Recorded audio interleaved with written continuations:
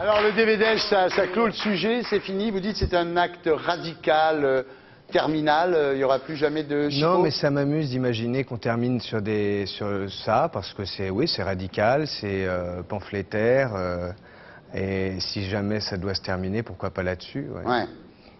Alors maintenant, bah, vous faites du cinéma comme avant finalement. Vous êtes dans l'incruste et bientôt dans Jet Set 2, alias People. Ouais. Ça va? Ça va Voilà, alors après Patrick, après Chico, on va passer au troisième personnage, Pablo, donc, euh, c'est votre nom dans le livre de votre compagne Justine Lévy, qui s'appelle Rien de grave, publié chez Stock. Alors c'est encore Édouard Baird, c'est déjà lui qui vous a amené à être Chico, et c'est Édouard qui vous a présenté euh, Justine Lévy Ouais, j'ai- enfin, j'étais en vacances euh, à Formentera avec lui, et euh, voilà, j'étais dans l'eau, Hmm il y avait ce bateau, et puis euh, il m'a dit je vais chercher une fille super. Je savais pas qui c'était, et puis voilà, il- elle est venue sur le bateau et, et on s'est rencontrés sur ce bateau. Voilà. Ça a été le coup de foudre? En tout cas, moi, j'ai, oui, oui. Moi, moi, en tout cas, j'ai eu quelque chose tout de suite. En tous les cas, vous avez le beau rôle. euh, C'est pas euh, gênant le coup de foot quand on est en maillot?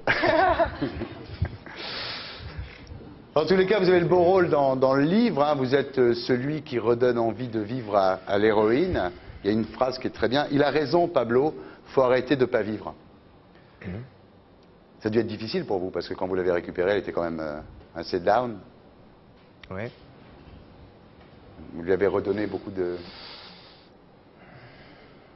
Non, vous savez, c'est des gens qui, à un moment, oui, bah, quand il se passe quelque chose, il faut, faut, faut vivre, il faut, il faut, il faut avancer, et, et euh, ça sert à ça, Hmm d'être à deux. Enfin, quand on a, quand on a un inter, quand on est sur quelqu'un, quand on, voilà. Enfin, c'est difficile de parler de tout ça comme ça. Puis c'est, ouais, enfin, c'est, c'est un personnage du livre. Ouais. Voilà. Quand vous n'êtes Après, pas euh, comme ça, vous. C'est difficile, c'est difficile de dire des choses qui sont, qui sont écrites, qui sont écrites par, par, par Justine. Et, Mhm. et voilà, donc après, euh, elle, elle a vécu des choses, elle a écrit des choses, elle a, elle a fait ce roman. Donc euh, si, si j'ai pu inspirer euh, ce personnage, euh, j'en j'en suis très touché. Euh, maintenant, c'est pas à moi d'en parler. On a parlé avec elle, de toute façon. Oui, je sais.